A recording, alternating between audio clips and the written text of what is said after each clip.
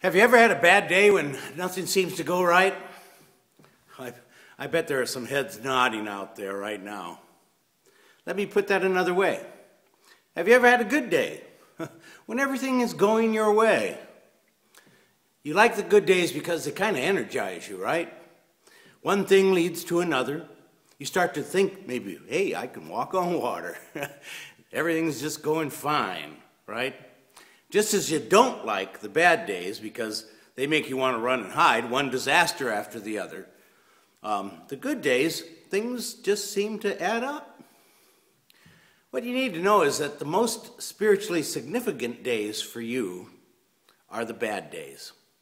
Days which are difficult enough to make you needy, difficult enough to make others need you. Hmm. Well, there's no mail delivery in our little town, so everybody had to go down to the post office where everybody had a box, including the church. The postmaster was a strange, talkative man named Chris. And because he was also a church member, a trip to the post office for me meant a long one way conversation with Chris. He just wouldn't leave a gap in the conversation where I could say, Well, I got to get going. Right? Well, one of the things that made conversation kind of odd with Chris was the fact that he never, he had this habit of talking to you, but not looking you in the eye, instead looking off over your shoulder. Well, I eventually found out why he did this. Chris had served in the Pacific during World War II. He'd been captured by the Japanese. The name of the officer in charge, the nickname of the officer in charge of the prison camp was the Beast of the East. Chris had suffered a number, a string of bad days. There were death marches, there was torture, there was uh, imprisonment and interrogation. Chris had learned the hard way not to look his captors in the eye. After the war, Chris became the postmaster of our little town, and he also became an alcoholic. Now, he would try to hide this by walking around in the backyard. He'd mix gin in um, a bottle of soda pop, and then he'd walk around, stroll around, looking like he was checking things out. but this didn't fool anyone, including the pastor. Sometimes Jesus had his bad days. Yes. Like the day he preached in his hometown synagogue uh, at Nazareth right? His reputation preceded him. They'd heard that he could heal and he could work wonders. And when he preached, he was very good and very wise and very true. But you see, people don't always respond well to the truth and to wisdom. They don't. Sometimes they'll try to find some flaw, some reason not to take the truth seriously, something to let them off the hook. And in Nazareth, they said, Well, wait a minute, where does he get all this stuff? All right? Isn't this the carpenter? He's just a tradesperson like ourselves. Isn't he Mary's son? Notice that they left Joseph out, kind of hinting Jesus might be illegitimate. We, we know his brothers and his sisters. They've married into our families. So he's one of us, and so he can't be much. Now, you see, they rejected Jesus not because they didn't think so much of him, but because they didn't think so much of themselves. Thinking this, they did not have to take Jesus' words to heart. They could stumble along the same old way. The Bible says that Jesus could do no mighty work there. It was a bad day. There was no walking on water that day. Well, I remember one particularly bad day. Of all things, it was a vacation day. I was riding on RAGBRAI, uh, the big bike ride across Iowa. It's coming up in a few weeks. One day, we were riding out of Cedar Rapids in a light rain, but then just as we approached the little town of Ely, that's how you say that, isn't it? The rain just let loose. It came down in buckets. Now, to make things wor worse, I was riding in a pack of riders, and so there's hundreds of bicycle tires flinging dirty water up off the road and throwing it up in the air. now, are you familiar with the tight little bike shorts that bikers wear? There's padding in the seat, you know, and it's a nice thing when it's when they're dry. okay, in the rain, your rear tire throws gallons of water right at your butt. and the padding gets soaked. Then it's not just a matter of being wet, it's like wearing a wet diaper. well, after that lousy day in his hometown, Jesus sent his disciples out two by two. They are to go to a bunch of other towns and villages all around there. And stranger still, he tells the disciples not to take anything with them. The disciples are just supposed to be traveling light, not just traveling light, but running on empty. Nothing with them. Now, I want you to see the genius in this plan that Jesus has. First, there's, there's this wonderful freedom when you don't carry nothing. No excess baggage. No baggage at all, right? Just themselves. There's nothing to distract the disciples from their mission. And this freedom is going to lead them eventually into friendship. They are going to be driven into relationship with others by their needs. The disciples come into a town. They're tired and they're thirsty. They go to the village well, the center of life in that village. They will have to ask someone to draw water for them, just like Jesus did once.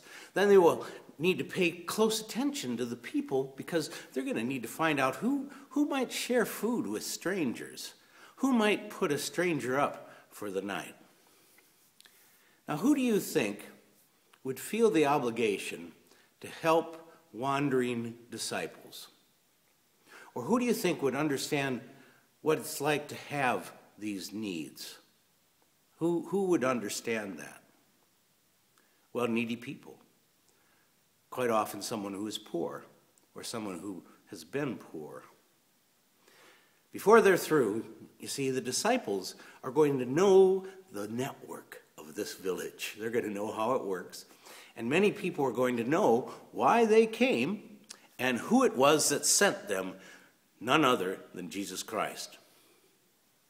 Well, by the time I reached Ely, I was a wet, dirty, soppy mess. But there, on the left, was a church. Those good folks were serving breakfast to the sodden masses that were rolling into their town in the rain. Now, my good friend Leroy was pastor of this church. So I decided that I would try to find him or his wife Paula, and maybe they could take care of me for a while. Well, I stopped at the church, and neither one of them were there just then, so I went down the street to the parsonage. I went to the back door and knocked, no one seemed to be home. Door was open, just the screen door closed. So I knew they couldn't be too far away. In fact, I, well, I tried the door and it was unlocked. But then I thought, I'm having a dilemma.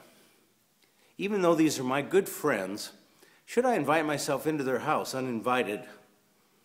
Should I find a towel, take off my wet clothes, Maybe put them in the dryer for a while. Maybe run a load of wash and get the clothes both dry and clean. Maybe I could take a shower and get myself clean, right? But then I thought, what if um, a neighbor or one of their children or a mother in law or somebody innocent came back while I was still there, all right, standing in the basement with no clothes on? How was I going to explain that? And could I explain it fast enough? Now, if you're a wandering disciple, and if you have only one set of clothes, what do you think you're going to do when they get dirty? Someone will have to wash them for you. And while they do, you are not going anywhere. you're going to have to be somewhere with no clothes on in a dependent, vulnerable situation. Think about that and where, where the conversation's going. You're going to have a conversation with that person while they're washing your clothes. Well, back at my bike ride, as the rain came down in Ely, Iowa, I decided just not be right to be found naked in, in somebody's basement, even a friend's basement. But I also have to admit, admit this I don't really like to be needy. I don't like to be dependent and vulnerable. It's not something that I want to do, um, even with my friends. So I went and stood in the garage for a while and waited for them to come home, but apparently they were busy elsewhere. It's too bad they didn't come home while I was there because some different things might have happened. First, they would have liked to have seen me, especially all wet and dirty, and they'd enjoy helping me out. They really would. I would have run around the house maybe in Leroy's uh, bathrobe, and we could have had a memory to share for the rest of our lives, and could have saved me a bad case of diaper rash. You see, we prefer to conduct our relationships out of strength and independence, not out of weakness and dependence. But here, you see, Jesus sends his messages out, messengers out as the small, as the strange, as the powerless, who rather than meeting every need that people have, they have needs themselves.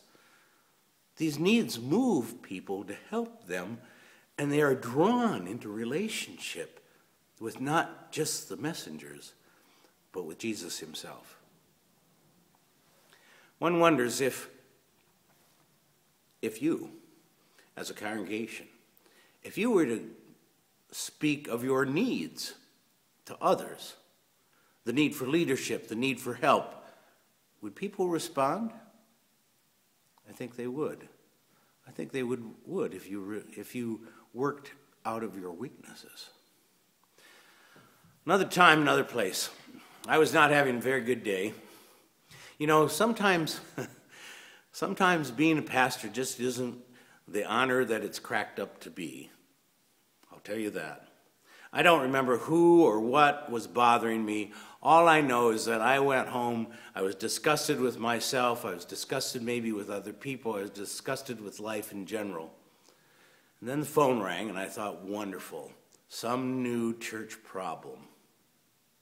Well, turns out to be Chris, the postmaster. And this guy is strange. He never really ever called me. He always caught me down at the post office. He says, I just called to see what you were doing. And so we talked for a while. And I have to tell you that uh, on the phone, I didn't know, notice Chris's eyes so much. Couldn't smell his breath. Well, I could, I could almost smell his breath, but not quite. Right before he hung up, he said it. He said, You're my good friend, you know. You're my pastor guy. No, not much to that, was there? Do you have any idea how enormous that was? You are my pastor guy. It was like being ordained all over again. Now, you can expect your bad days, you see, to be your spiritually significant days. Days which are difficult enough to make you needy, because you need to be needy. And there are days when whose difficulties will cause others, others to, to need you, others that, that need something that perhaps only you can give. Because that's how our Lord works. That's how our Lord comes to us. In fact, that's, that's how and when He is able to come to you. When there's nothing else to get in the way. That's when Christ can make His presence known. And then what happens is people get healed and problems go running for cover. Amen.